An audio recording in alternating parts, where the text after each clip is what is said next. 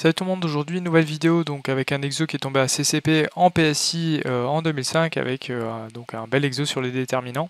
Donc il faut calculer le déterminant de la matrice M que vous voyez. Donc euh, voilà pour l'énoncé, n'hésitez pas à chercher par vous-même, à lâcher un petit like si vous pensez que la vidéo peut vous être utile. Ensuite je vais donner des indications et passer à la correction. Ah, donc on est parti pour les indications. La première indication, c'est qu'il faut écrire la matrice sous forme de bloc de matrice. La deuxième indication, c'est qu'il faut faire des opérations sur les lignes et les colonnes pour faire apparaître des zéros soit en bas à gauche, soit en haut à droite. Et enfin, il faut trouver des identités remarquables. Allez, donc on est parti pour la correction et on peut déjà observer que dans la matrice M, on a deux blocs de matrice qui apparaissent deux fois en fait.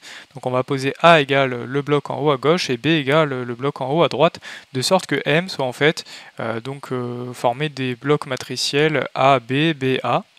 Euh, et on va chercher à faire apparaître une matrice nulle soit en haut euh, à droite, soit en bas à gauche, pour avoir en fait euh, que le déterminant de M c'est le produit donc des déterminants des matrices donc sur la diagonale de M. Donc on va essayer de faire ça.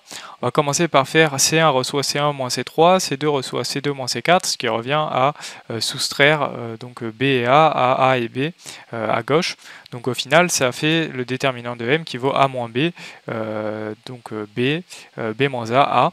Et donc, Maintenant, on se rend compte que bah, si on additionne euh, A moins B et B A, ça fait apparaître un 0.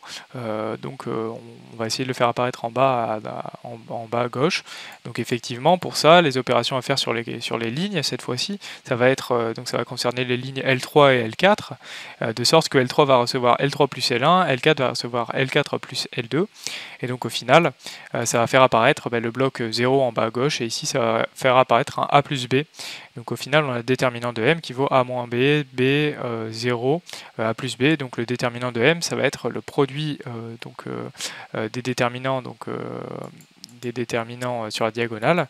Donc déterminant de M, ça va être le déterminant de A plus B fois le déterminant de A moins B.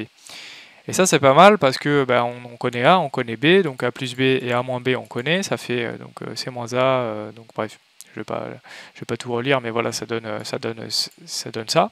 Et donc les déterminants, ensuite, ça fait euh, C moins A au carré euh, moins B plus D le tout au carré. Et euh, donc fois l'autre terme, c'est C plus A au carré fois B, moins, pardon, B moins D le tout au carré.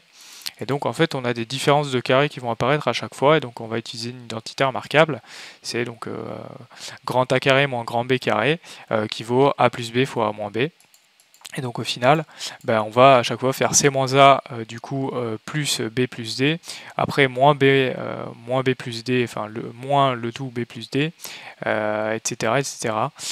et donc au final, ben, on a quand même pas mal de moins qui vont apparaître ici, et donc on a, bon après on, réorganise les termes, et là effectivement on a pas mal de moins qui vont apparaître, on réorganise les termes pour faire apparaître A, puis B, puis C, puis D, et on a effectivement du coup on, peut, on a intérêt à faire à factoriser euh, pour faire sortir un moins.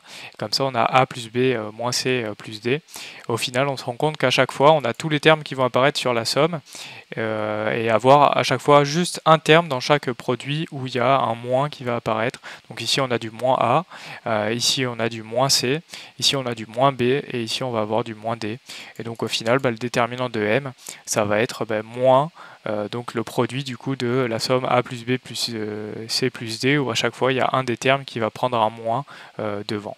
Voilà, donc c'est fini pour cet exo qui est assez sympa, qui permet quand même de revoir les propriétés usuelles du déterminant, les opérations sur les lignes, sur les colonnes, euh, et ensuite bah, de, euh, euh, de faire apparaître donc des, des blocs nuls en bas à gauche ou en haut à droite pour se ramener donc, à des matrices dont on peut calculer facilement le déterminant par bloc.